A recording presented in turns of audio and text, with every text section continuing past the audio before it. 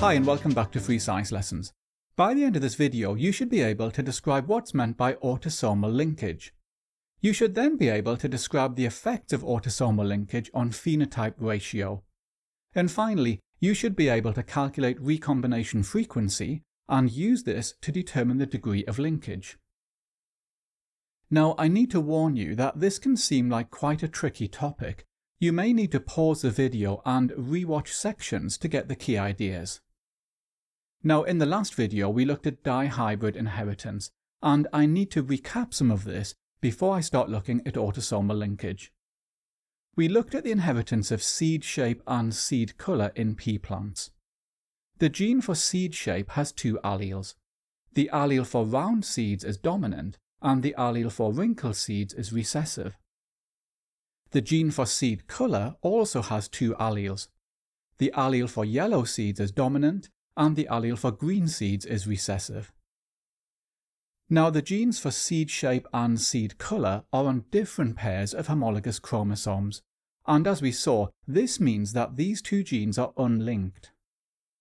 I'm showing you here the genes for seed shape and seed colour in a pea plant. This plant is heterozygous for both genes and has the phenotype round yellow seeds. So what happens if we cross two parents which are both heterozygous for two unlinked genes? Well, the key idea you need to remember is that for unlinked genes, either allele in a pair can combine randomly with either allele in another pair. This is called Mendel's law of independent assortment, and this means that we can have four different combinations of these alleles in the gametes, and I'm showing you those here. So here's the cross for two pea plants which are both heterozygous for seed shape and seed colour. We now have four different phenotypes in the offspring. Nine have the phenotype round yellow seeds. Three have round green seeds. Three have wrinkled yellow seeds. And one has wrinkled green seeds. Now this ratio of 9 to 3 to 3 to 1 is found when we cross two individuals who are heterozygous for two different genes, as long as those two genes are unlinked. Okay, so in this video we're looking at autosomal linkage. Now the word autosomal means we're looking at chromosomes which are not the sex chromosomes. So for example in humans, the autosomes are chromosome pairs 1 to 22. Now the example that we're going to look at is in the fruit fly Drosophila. Drosophila only has four pairs of chromosomes. Chromosome pair 1 are the sex chromosomes. Chromosome pairs 2, 3 and 4 are the autosomes. Now on chromosome pair 2, we find two linked genes. One gene determines body colour. The dominant allele, capital G, produces a grey body, and the recessive allele, lowercase g, produces a black body. The other gene determines wing length. The dominant allele, capital L, produces long wings, and the recessive allele, lowercase l, produces very short, non-functional wings, and scientists call these vestigial wings. Okay, I'm showing you here two fruit flies that we're going to cross. The fly on the left is a female with a grey body and long wings. This fly is homozygous dominant for the genes for body colour and wing length, and I'm showing you the alleles on the chromosome pair. The fly on the right is a male with a black body and vestigial wings. Now this fly is homozygous recessive for the genes for body colour and wing length, and again I'm showing the alleles on the chromosome pair. Okay, here are the gametes from these flies. The gametes from the female fly all have the dominant alleles for body colour and wing length, and the gametes from the male fly all have the recessive alleles for body colour and wing length. Okay, I'm showing you here the offspring from that cross. As you can see, all of the offspring have grey body colour and long wings, and all of the offspring are heterozygous for the genes for body colour and wing length. Okay, so what happens if we now cross two of these offspring together? Here are the parents, and here are the gametes produced by each parent. Okay, here's the Punnett square showing the cross. Three out of four offspring have grey body and long wings, and 1 out of 4 offspring have black body and vestigial wings. Now you'll notice that I'm using brackets in the genotypes. Brackets show that these genes are linked. You don't have to use brackets if you don't want to.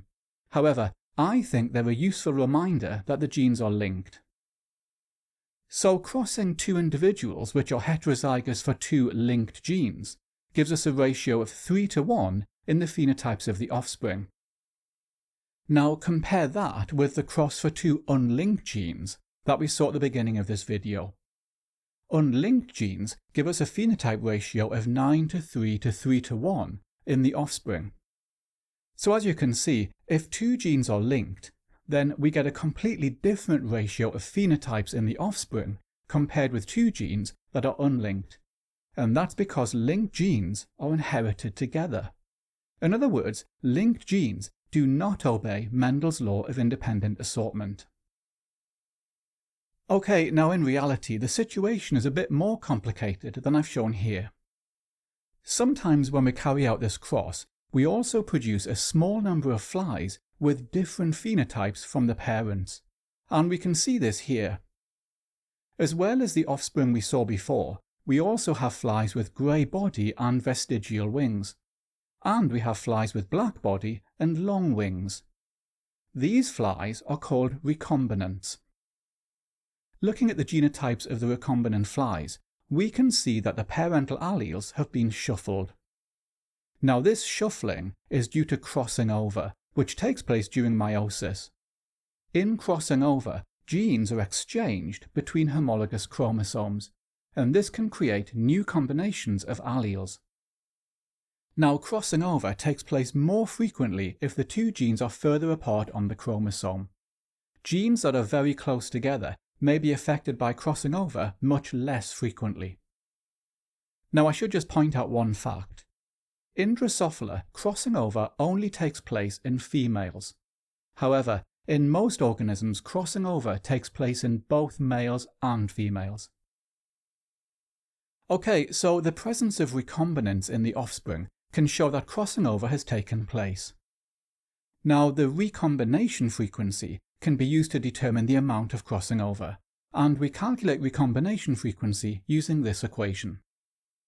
The recombination frequency is the number of recombinant offspring divided by the total number of offspring and then multiplied by 100 to get a percentage.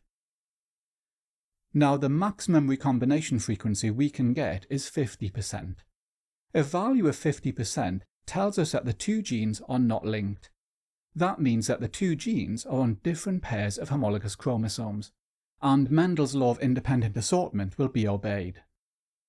However, if the recombination frequency is less than 50%, then the two genes are linked. In other words, the genes are on the same pair of homologous chromosomes. Recombinants can still be formed by crossing over. The further apart the genes are on the chromosome, the more likely crossing over will be, and this will lead to a relatively large value for recombination frequency. However, if the genes are close together on the chromosome, then crossing over becomes less likely, and in this case we will get a low value for recombination frequency. In the next video we look at the chi-squared test.